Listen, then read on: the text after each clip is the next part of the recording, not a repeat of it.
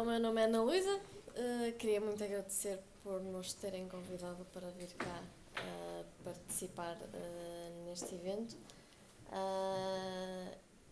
é a primeira vez que falamos em Espanha, portanto, e sendo na, em Vigo ainda significa mais para, para nós. Um, eu vou falar um bocadinho do nosso ateliê de uma forma mais geral, não tão uh, específica em termos de projetos. Um, nós somos três sócios, uh, o Filipe, eu e o Ahmed, mas neste momento o nosso ateliê somos dez. Uh, a Joana está aqui, está aqui também connosco uh, e no final, se houver perguntas, ela irá responder. O nosso começo foi um bocado diferente. Nós trabalhamos, uh, eu e o Filipe estudamos no Porto, o Ahmed uh, é suíço, estudou na Suíça. Os nós os três vivemos no Japão em alturas diferentes e o ateliê começou um, quando nós estávamos a viver neste edifício em Tóquio, que nos marcou imenso que eram 8 metros quadrados uh, e éramos dois a viver uh, neste espaço, portanto era tudo muito intenso. Um, e depois de, dos nossos estudos uh, em Portugal, depois a nossa experiência na Suíça e depois esta experiência tão diferente no Japão, um, fez com que a nossa percepção do que pode ser a arquitetura fosse muito alterada. Porque o que é verdade aqui é o oposto no Japão. Uh, e o que é verdade na Suíça é o oposto cá. Portanto, fez-nos abrir muito mais uh, a nossa percepção do que é que pode ser ou não a arquitetura. E começamos, como quase todos os ateliês, a fazer alguns concursos. Uh, fizemos muitos concursos, perdemos todos os concursos. Somos muito bons a perder concursos.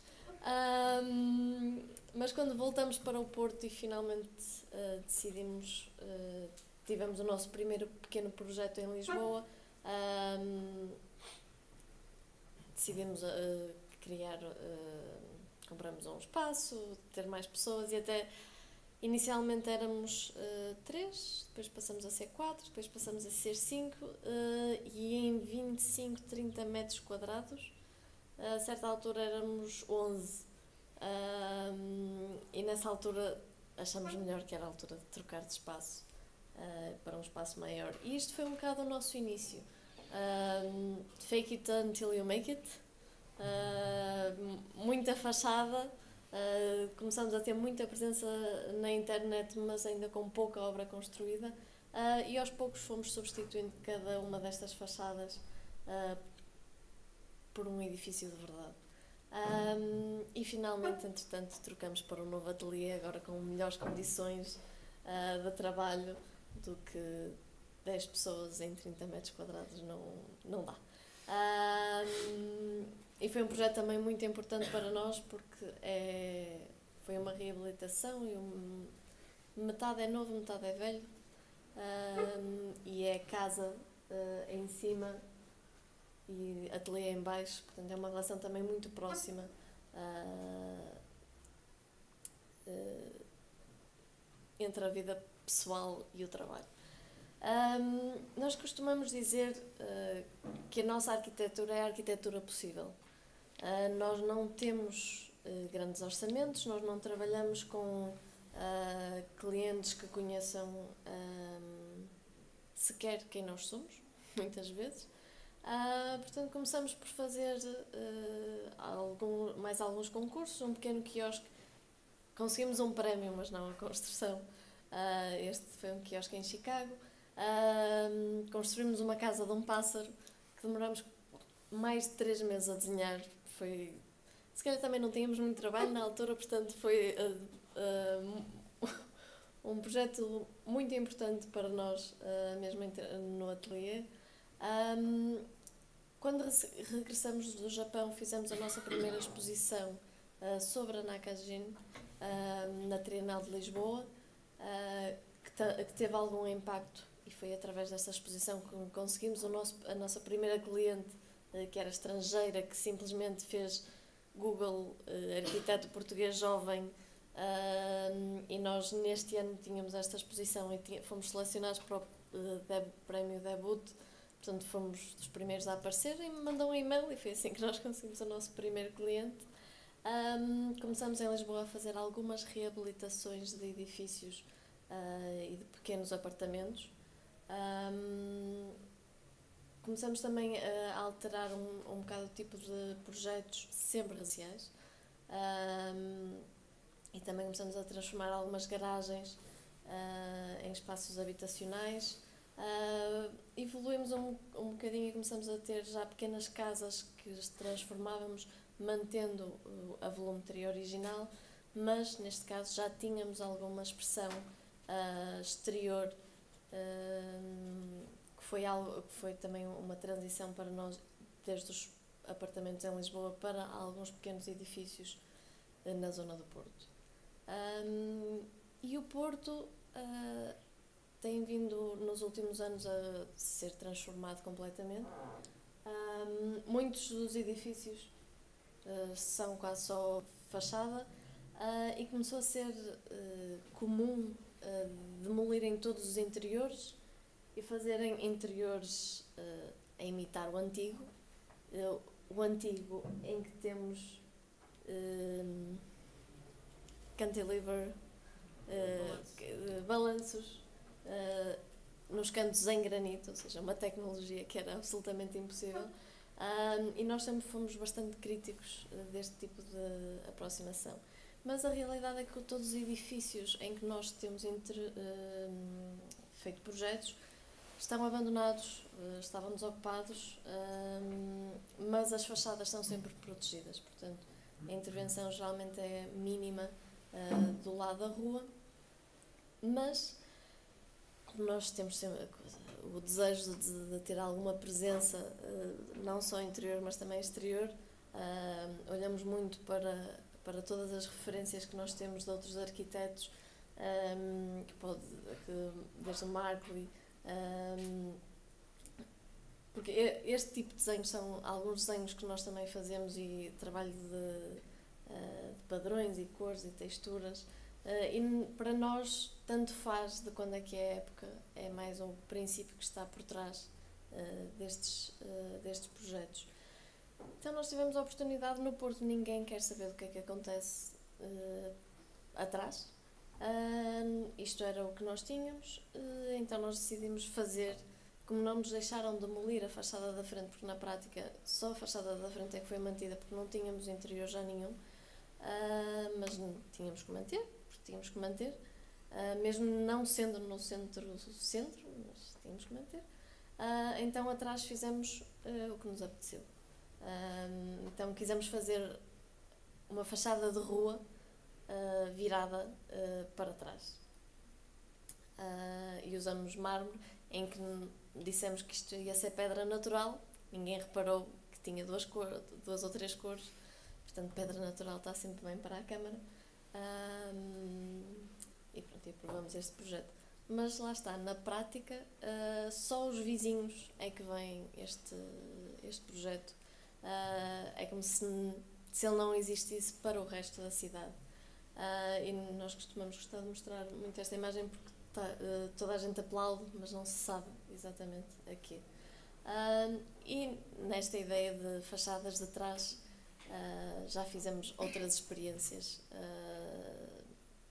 e diferentes alterações. Uh, sempre no princípio, a frente mantém-se porque é obrigatório, a parte de trás uh, tentamos fazer algo novo. Um, e mesmo quando começamos a, a dar aulas, uh, este tema das fachadas, este tema do lote típico do Porto, que são 5 metros de largura por muito de profundidade, um, sempre foi algo que nos interessou e não só as fachadas antigas, mas também o que nós costumamos chamar os ugly ducks do Porto, que são as, os edifícios dos anos 40, 50, 60, 70, à volta disso, um, que vieram substituir uh, estes edifícios pequeninos num lote de 5 metros, mas com muitos mais pisos, uh, em que os arquitetos claramente se divertiram uh, imenso. então nós fizemos vários estudos de todos estes edifícios que neste momento já existem no Porto. Há alguns casos em que eles estão a ser, as fachadas estão a ser transformadas para parecerem antigas um, alguns casos, mesmo no centro, perto do nosso uh, ateliê anterior, em que destruíram um destes edifícios. Uh, porque se é velho, se é antigo, é bom, se é novo, é mau. É este o princípio. Um, como nós apenas recentemente começamos a ter outros tipos de projetos, nós sempre uh, começamos muito pelos projetos de, de, de detalhes interiores uh, e desde cozinhas a casas de banho a exaustores, sempre dedicamos muito tempo a todos estes pequenos detalhes que geralmente uh, em alguns projetos até é deixado ao critério de quem vai comprar, fazer o que lhes apetecer. nós sempre pusemos muita energia nestes pequenos pormenores, ou nas fachadas de trás, ou em elementos puramente uh, de composição de fachada, uh, com uma coluna que não toca, ah, que não segura nada, mas que ajuda a equilibrar a fachada. Um, e recentemente começamos a trabalhar também em alguns edifícios com, em zonas protegidas, ou seja, edifícios que de facto faz sentido preservar, incluindo os interiores. Um, algumas ilhas no Porto ou alguns edifícios habitacionais nos subúrbios uh, esqueletos que ficaram uh, da crise anterior imobiliária, uh, que nós basicamente simplesmente acabamos os projetos. E finalmente agora estamos a construir as nossas primeiras casas unifamiliares em que finalmente temos algum impacto em termos urbanos. Um, nós temos vários projetos uh, e nós somos um bocado obcecados pela forma de representação e coerência entre tudo o que nós fazemos. Um, e a certa altura começamos a reparar que havia vários temas que nós íamos repetindo ao longo dos projetos. Um, uh, um deles são as colunas. Nós gostamos muito de colunas. Colunas que não são nada, que estão simplesmente ornamentais numa fachada, colunas que organizam um espaço, ou seja, uma coluna central que divide um espaço uh, em quatro, mas como não é estrutural, uh, não toca no teto. Um, ou colunas que também não são estruturais, mas que tocam no teto, porque o objetivo é perceber quando um espaço é 100% branco, os cantos começam, começa deixamos de perceber onde começa e onde acaba para ter noção do ponto central e do ponto mais alto uh, uh, deste espaço que nos que guia o olhar e dá a sensação, ok, este espaço neste ponto tem 6 metros de altura, enquanto que a janela como tem 2 parece que é muito baixo, mas este elemento ajuda um, a dar ainda mais verticalidade. Uh, trabalhamos muito com o branco. Uh, o branco, todos os arquitetos trabalham com o branco. Uh, mas o branco pode fazer coisas diferentes. É ótimo para a luz e muitas vezes nos nossos edifícios, principalmente nos lotes do Porto, são muito profundos, então ajuda a refletir.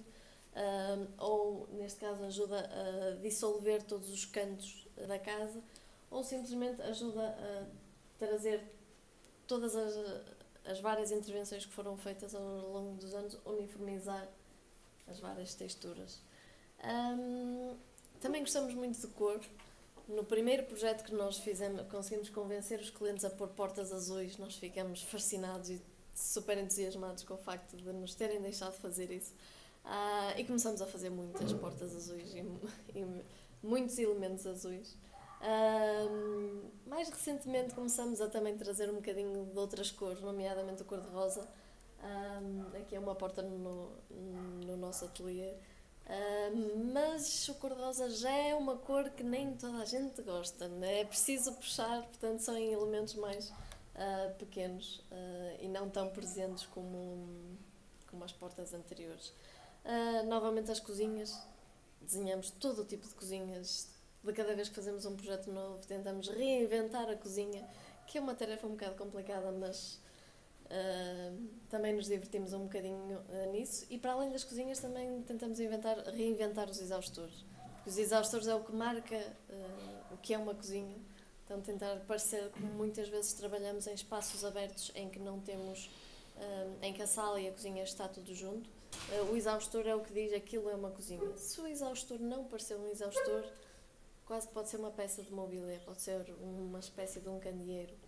Um, fazemos muitas variações uh, de exaustores. Um, gostamos muito de trabalhar com padrões, uh, padrões e cores. Um, E dentro dos padrões, às vezes também usamos outros materiais para fazer, uh, para fazer os mesmos, ou seja, neste caso o azulejo pode ser usado numa casa de banho, pode ser usado como padrão, numa casa de banho, pode ser simplesmente a cor de uma fachada. Um, adoramos mármore, usamos mármore sempre que podemos. imagino que aqui seja igual, mas sempre que vamos para o estrangeiro toda a gente acha que nós temos orçamentos fantásticos nos nossos projetos porque usamos mármore mármore em Portugal, imagino que aqui seja igual, é um soalho de madeira e um, so, e um, um pavimento em mármore custam o mesmo. Uh, o que dá alguma riqueza uh, aos nossos aos projetos. Um, gostamos muito de escolar o chão das paredes uh, e às vezes de escolar o chão das paredes e do teto, quer com diferentes tipos de madeira, quer com diferentes tipos de cor. Um, e depois brincamos um bocadinho, outra vez, em todos os pequenos elementos, nem que seja uma pequena guarda, uh, para dar outro tipo de. Uh, brincar um bocadinho com formas. Um, adoramos círculos, temos círculos em, sempre que podemos pomos um círculo. Uh, quer seja uma guarda, quer seja um corrimão, uh, quer seja uma maçaneta, quer seja simplesmente um elemento uh, para dar uma, outro tipo de composição a uma fachada. E como eu disse, nós também somos muito obcecados com a forma, de, com a representação. Como qualquer arquiteto, fazemos desenhos à mão, um, mas para nós é muito importante a forma uh, como representamos os espaços. E um, há mais ou menos três anos, dois, três anos atrás, uh, decidimos redesenhar todas as nossas plantas, todos os nossos projetos, uh, sem espessuras. Porque começamos a perceber que, como quase todos os nossos projetos eram reabilitações, um, a parede exterior não tinha relevância para o que nós queríamos dizer do nosso projeto, mas ela tinha muito mais espessura e muito mais presença do que todos os outros elementos. Um, ao tornar todas as paredes numa linha, nós não estamos a dar a tornar importante a parede, mas estamos a tornar importante o espaço, o negativo que, que fica. Um, então redesenhamos todas as nossas plantas, um, marcando as, as portas e, uh, e, repensando nos princípios uh, de como uh, representar a arquitetura. Um, também somos muito obcecados por geometrias, quase nenhuma delas se percebe depois na realidade quando está no espaço que elas existem mas são, é algo que nos ajuda a definir os nossos projetos. Um, e começamos também a fazer as representações dos nossos alçados. Só que os nossos alçados no início eram interiores, eram só alçados interiores, não tínhamos projetos uh, exteriores, portanto, estas são as nossas fachadas. Uh, agora, mais recentemente, começamos a ter alguns projetos que têm uma fachada exterior, uh, que nós tratamos da mesma forma, um, nós começamos também, claro, a ser uh, a usar a colagem como representação uh, dos nossos projetos e que foi algo que nos deu alguma uh, notoriedade fora de Portugal. Um, mas nós usamos estas colagens quer como formas de trabalho durante o processo entre nós, quer para falar com os clientes, uh, quer para um, como representação final. Um, também fazemos as colagens exteriores uh, para, um, para mostrar o que, o, uh, os objetivos. Uh, algumas axonometrias também mais complexas para quando é importante e envolvente uh, nos projetos. Um, e o passo seguinte, nos casos em que existiram, uh, é a fotografia e a importância, é a importância de representar, de conseguirmos representar através da fotografia os nossos projetos. Quase todos eles são privados, portanto, nós temos uma oportunidade de tirar estas fotografias, pois em quase todos os casos não temos mais acesso uh, a estes projetos, portanto, a fotografia é o único meio que nós temos de mostrar o nosso trabalho. Uh, e a forma como nós a fazemos é tão fundamental quase como o projeto também. Mesmo que seja uma fotografia tirada de longe para mostrar o contexto em que de facto ele existe e até mesmo a varanda em que fomos tocar a campainha da senhora para nos deixar entrar ao último piso para tirar uma fotografia. Um, Existem uh, várias, uh, vários níveis de informação uh, que para nós são bastante importantes um, e estas diferentes fases e as diferentes formas como elas, como elas se conciliam são fundamentais para nós. mesmo e ainda mais nos casos em que começamos a fazer um projeto, estamos a construir o projeto, o vizinho diz também quero vender, nós arranjamos outro cliente para comprar o vizinho e começamos a fazer outro projeto. Um, e assumir que vamos ter um projeto lado a lado, mas foram feitos em fases diferentes, têm estruturas interiores e exteriores um, completamente distintas, portanto, quase fazer. Uh, quando o contexto somos nós próprios, mas nós não nos queremos repetir, também é um exercício bastante interessante. Um, outra vez estamos obcecados pela, por tirar fotografias nas mesmas perspectivas de que fizemos uh, a imagem inicial, em construção, uh, quando já está construído, mesmo no interior, e é claro, nas imagens que fazemos originalmente não são, não são perspectivas perfeitas. Uh, nós adaptamos consoante o que queremos mostrar ou não nessas imagens na imagem final é impossível tirar aquela perspectiva, mas a ideia está lá. Um, ou então as diferentes fases de construção uh, com o edifício original, todas as coisas que acrescentamos, demolimos, uh, tapamos, abrimos, uh, para no final não se aperceber o que é que é novo, o que é que é velho. Um, ou então colagens como elementos de projetos uh, e de representação de algo que não vai existir, porque há projetos que nós fazemos e depois não acontecem, ou porque clientes mudam de ideias, ou porque vendem, ou porque o mercado está tão maluco um, que nunca sabemos se de facto vamos chegar ao fim de um projeto ou não. Um, ou quando nós achamos mesmo que este projeto não vai para a frente e depois vai para a frente uh, e acabamos a construí-lo, uh, também é bastante satisfatório. Um, e nesta ideia da representação, um, como, lá está, como sempre foi algo tão importante para nós, acabamos por ser convidados para fazer uma exposição sobre as nossas formas de representação, uh, em que o próprio espaço expositivo era uma representação da representação. Uh, um projeto dentro do projeto uh, que fizemos no ano passado. E que usamos todos os elementos, padrões, repetições, cores, uh, para fazer um, esta exposição. Existem alguns projetos em que todos estes elementos e todas estas, em inglês nós costumamos chamar tropes, um, se repetem ainda mais ou são mais visíveis, porque depois nós combinamos estes diferentes elementos de diferentes formas.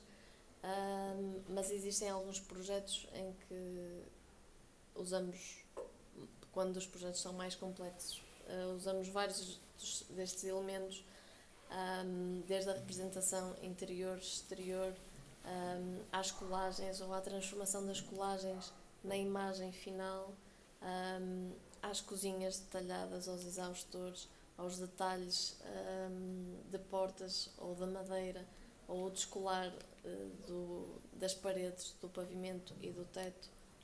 Outra vez, os padrões uh, os azulejos dos exaustores das cozinhas, um, os corrimões, um, a luz e o branco e o, a refletir no espaço, elementos uh, estruturais uh, que nós deixamos expostos, mas como são cortados por paredes, uh, criam momentos pouco convencionais nos espaços.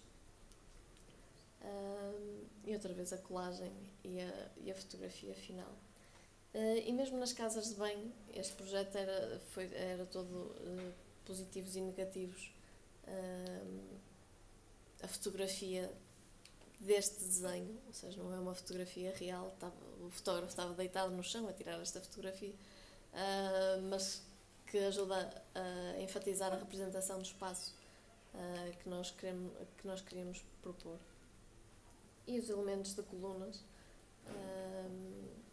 que neste caso toca na laje, mas não é estrutural, uh, e este elemento mais longe, com um círculo a fazer remate da, da fachada. Ou então, noutros projetos que ainda somos mais, uh, que ainda fomos, usamos os mesmos temas uh, de outras formas, outra vez a descolar o pavimento das, e o teto das paredes, um, o pátio exterior como uma sala, um, a colagem das várias perspectivas. este projeto era um bocadinho mais complexo, era uma garagem uh, e armazém. Um, nós, isto é a rua que nós transformamos uh, numa, numa habitação. Uh, portas de chão a teto que alinham de um piso para o outro, apesar de nunca se dá para perceber que elas alinham. Seja, estas as portas alinham, mas só em desenhos é que se percebe isto. Um, uma viga que nós não conseguimos demolir com um espelho por baixo para parecer que é mais alto, na prática só eu é que passo, o Filipe bate com a cabeça, uh, mas pronto, a vantagem de ser mais pequenina. Um, mas tentar brincar com estes elementos, uh, tentar trazer do exterior para o interior uh, este friso que criamos. E novamente uh, estas fachadas, uh, fachada da rua, que é quase que é discreta porque era a porta de uma garagem, um, e a fachada de trás, uh, que tem muito mais impacto. e círculos. E riscas, gostamos muito de círculos e muito de riscas. E criar, lá está, este, este jardim é mais uma sala para nós. Um, e nós, vários dos nossos projetos, como se, um, nós pensamos neles individualmente, mas quer por terem o mesmo tipo de, de programa, uh, quer por terem outro tipo de características semelhantes, vão definindo grupos de projetos. Por exemplo, quando nós desenhamos a nossa primeira casa, foi um dos primeiros projetos que fizemos. Ainda não está construído, ou melhor, está quase construído há dois anos. Está ali no download 99,99% e dali não sai, mas está quase. Um, em que fizemos uma casa quadrada virada norte-sul, um, em que por fora é bastante séria, Uh, por dentro tem uma coluna central, mas que não é central, está um bocadinho desviada, mas que ajuda uh, a organizar o espaço e a dividir a zona social da zona da cozinha, mas como não é estrutural, não toca no teto. Um, e depois tivemos a oportunidade de fazer outra casa, uh, em que já de decidimos fazer o oposto, que é fazer só uma sala retangular perfeita, e as formas aconteciam pela, atrás que resolvem uma série de pequenos problemas porque precisamos de mais espaço para a cama ou para o armário de embutir ou para a casa de banho ou para caber a cadeira de rodas. Um, cada empenadela destas resolve-nos um, um, pequeno problema. Um, é claro que nós podemos fazer tudo ortogonal e tudo reto. Uh, mas também nos divertimos um bocadinho mais uh, a fazer assim e continua a haver esta, uh, esta sala principal mas que não se percebe o que é que acontece no espaço privado. E depois também uma fachada, enquanto que na, na casa anterior as quatro fachadas seguiam o mesmo princípio, nesta com um telhado só de uma água, uh, cada fachada tem, uh, tem um impacto diferente. Uh, isto em obra. Um, outras vezes somos pedidos para pediram-nos para transformar uma fábrica em habitação. Um, e esta fábrica de, de malhas de roupa, um, quando foi feita, o dono achou que para a integrar uh, decidiu fazer aparecer uma casa. Um, então nós decidimos fazer casa, uma casa, ou vários apartamentos, aparecer uma fábrica. E o processo também de pequenas demolições, acrescentar, tapar buracos, abrir buracos, um, foi algo. Uh, foi um processo bastante interessante também para nós, uh, seguir as várias fases uh, do projeto até à fase final, em que na rua, na prática, quase não se vê. Um, ou então, lá está, numa fábrica em que de facto é para manter uma fábrica, mas o que eles querem é só uma fachada. Ou seja, nós desenhamos milhões de fachadas porque tínhamos para uma. Mentira, tínhamos para uma, um elevador e uma escada. Uh, mas há milhares de formas para pôr só um elevador e uma escada. Uh, ou seja, quando o programa é tão aberto, uh, é um bocado complicado tomar uma decisão. No final ficou esta que nós costumamos dizer que parece um elefante. Aqui é o rabo, o olhinho, a boquinha. Um, e aqui dá para ver. Este é o, o primeiro projeto de fachada que é de facto uma fachada e era esse o objetivo. É, sempre, é uma nova cara para, para, para todo este edifício. Um, e nesta ideia de podermos fazer o que nos apetecer, porque o programa uh, assim o permite, uh, tivemos o nosso primeiro uh, edifício, não é público, mas sem que as pessoas poderiam entrar, que era um pavilhãozinho em Serralves, para exibir uma peça de arte que nós não sabíamos o que era. Ou seja, nós fizemos todo o projeto para exibir algo em que usamos todos os elementos que já estávamos a, a trabalhar antes, a repetição, a grelha, Uh, os elementos na diagonal que cortam a grelha, um, os círculos a marcar a entrada, portas, um, por, entradas diferentes com portas diferentes. Um, cubo perfeito pelo interior, mas como nós pintamos a parte de cima de azul, quebra a ideia de que aquilo é um cubo perfeito. Um, eh, vigas que não seguram nada, esta viga está tá presa a esta, ou seja, está suspensa. Uh, mas todos estes elementos são elementos que,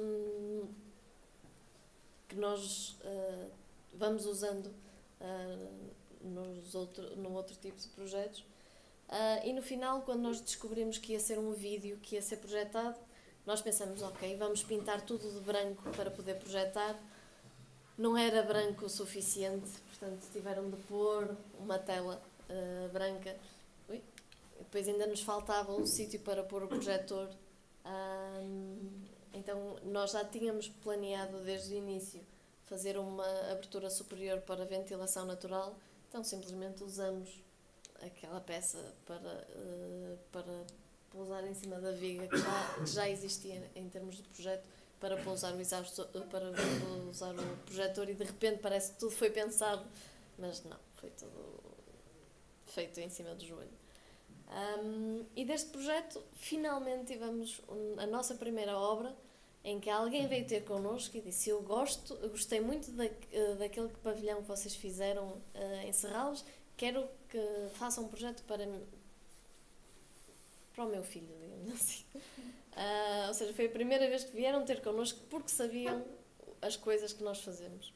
Um, e pediram-nos para transformar esta eh, este pequeno anexo de, uma casa principal um, que tem 15 eh, mais 15 metros quadrados, portanto, muito pequenino, um, em que não nos cabia o programa todo, em que nós decidimos, já que temos de estender e temos de fazer uma extensão para uma casa de banho, decidimos fazer a extensão de casa de banho mais orgulhosa que conseguíamos e fizemos um chuveiro de 6 metros de altura para esta extensão.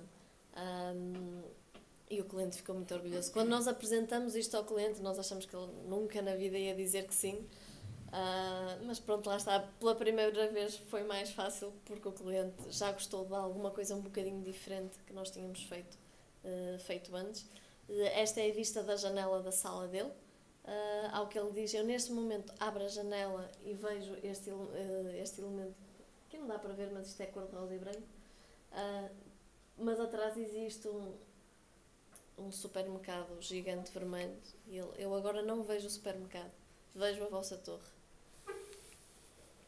Depois aqui a delicadeza dos vários. Ou, uh, do telhado que nós queremos descolar desta, destas paredes uh, pesadas, o bocado de betão que tivemos de acrescentar para acertar uh, as alturas e o facto de nós querermos assumir essa diferença de materiais Uh, e depois no interior, uh, branco, uma viga que nós desenhamos uh, para segurar no telhado de metal por cima.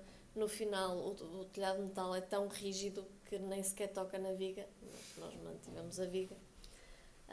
e o piso de baixo, com o botão à vista, com a nova escada para o piso de cima e mais uma vez a cozinha e o exaustor e todos os outros elementos. E a casa de banho, que, que, é, que acabou por ser o elemento mais importante deste projeto, uh, que tem um chuveiro com uh, uma claraboia uh, de 6 metros de altura. nesta sequência de projetos de total liberdade, que são muito raros, recentemente construímos um pavilhão na Bélgica para um festival de verão de música e para ser um pavilhão num parque. Portanto, qualquer coisa serve. Um, em que nós, de 300 metros quadrados, ou seja, uma área considerável, uh, mas nós podemos fazer o que nos apetecesse. Uh, era. Uh, é temporário, Portanto, não tínhamos restrições absolutamente nenhumas. é claro que em termos de materiais nós sabíamos que tínhamos 10 dias para construir uh, este pavilhão, portanto optamos por fazer tudo em madeira. Depois cada fachada optamos por uh, assumi-la como um elemento totalmente diferente, cada fachada é um, um desenho novo. Um, pronto, isto são algumas fotografias do, do pavilhão construído uh, no ponto de entrada uh, que está entre as árvores. Entre as árvores. Um, isto é vista um bocado mais de longe, ou seja, nem sequer é muito perceptível por onde é que se pode entrar. Uh, as pessoas têm que andar uh, para tentar perceber. Quando estávamos a construir, vieram-nos dizer: o vosso círculo não está horizontal. Nós sabemos. Mas pronto, há histórias engraçadas. Uh, mesmo durante a construção. Esta é a fachada das penas, a fachada do gato, a fachada da cobertura, que era para a zona para o DJ, se chovesse, estar protegido, e choveu. Um, e depois as fachadas interiores que também têm impacto, mas neste caso elas vêm-se, todas as outras é preciso, como têm árvores à volta, é, preciso ver uma a uma, é impossível ver tudo junto. No interior vê-se tudo junto, ou seja, existem duas fachadas de topo e duas fachadas um, laterais uh, em que pusemos uma bola de espelho, já que era um, para um festival de música. Um, e a única espécie de porta que ninguém usa porque está virado para uma zona que não interessa, uh, ou as pessoas não passam por ali, uh, mas que para nós, uh, em termos de composição, era importante. E o pavilhão, enquanto estava a ser usado no festival. Isto sumariza um bocadinho tudo o que nós andamos a fazer, todos os elementos que andamos a brincar. Eu digo brincar num bom aspecto. Se nós, uh, nós aborrecemos com muita facilidade. Portanto, se nós. É, é possível irmos repetindo sempre o mesmo projeto. Se nós não encontrarmos uh, nos projetos algo que, que, de facto nos interesse e que nos motive para fazer algo novo, uh, é muito fácil cair na monotonia. Uh, portanto, nós tentamos sempre brincar e divertir-nos com os projetos todos que fazemos, mesmo sendo só um, uma fachada que parece um gato. Obrigada.